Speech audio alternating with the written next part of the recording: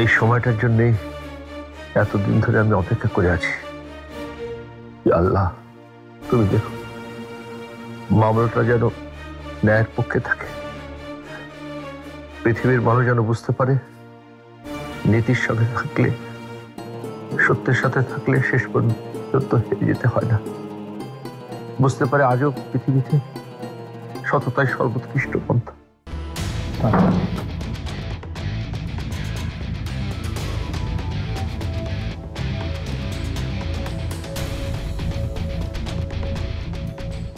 মামলার নাম্বার তিন হাজার পঁচিশ বাই দুই হাজার তেইশ। বাদী জালাল চৌধুরী, বনাম বিবাদী আফসানা খান, রুনা হাজির।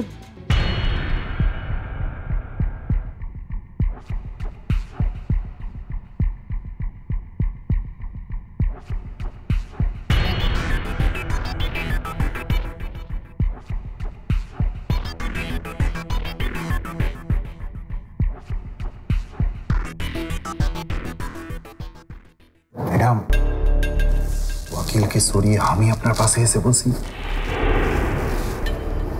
কেন? মানে আপনাকে দেখে মনে হচ্ছে অনেক পেরেশানিতে আছে। আর আপনার পেরেশানি দেখে আমার পেরেশানি বেড়ে যাচ্ছে। এই দেখেন না ম্যাডাম কেমন ঘাম হচ্ছে দেখেন। সমস্ত ফালতু কথা রেখে দয়া করে চুপচাপ জায়গায় বসে থাকেন। সচ মে ম্যাডাম আমার অনেক ডার লাগছে। কিন্তু আপনি পেরেশানি হবেন না। কবি কি বলেছেন মনে নাই? এই কোর্ট কোর্ট না और भी কোর্ট আছে এই কোর্টকে নিয়ে যাব আমরা উস কোর্টের কাছে মানে কি বলছেন আপনি মানে হলো এখানে কিছু না হলে আমরা হাই কোর্টে যাব টেনশন নেই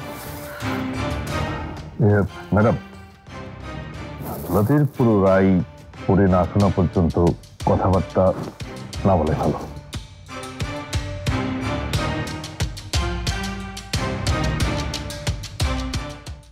অনন্তা, ধরেন যদি রায় আমাদের পক্ষে না যায় ধরেন যদি আমরা মামলায় হেরে যাই তাহলে? ভয় পাচ্ছেন স্যার? না ভয় না। আগে থেকে সব দিক ভেবে রাখাই তো বুদ্ধিমানের কাজ।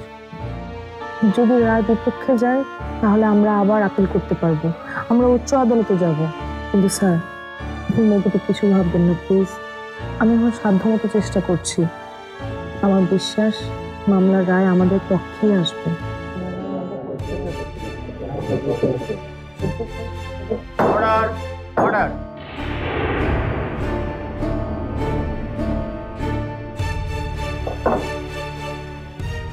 তিন হাজার পঁচিশ বাই দু হাজার তেইশ। চ্যাম্পিয়ন গ্রুপ অফ কোম্পানিজের মালিকানা সংক্রান্ত বিবাদ। জালাল চৌধুরী বনাম আফসানা খান রুনা। এই মামলার রায় পড়ছি।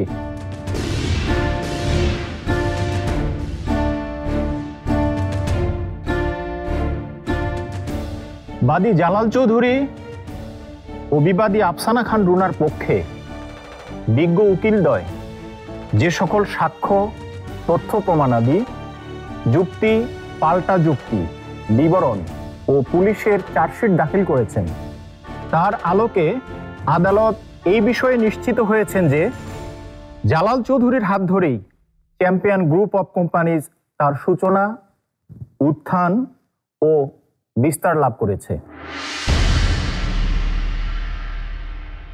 মাশরাফি জুনিয়র টিভিতে প্রচারিত হওয়ার পূর্বেই সম্পূর্ণ নতুন এপিসোড দেখুন শুধুমাত্র দীপ্ত প্লেতে।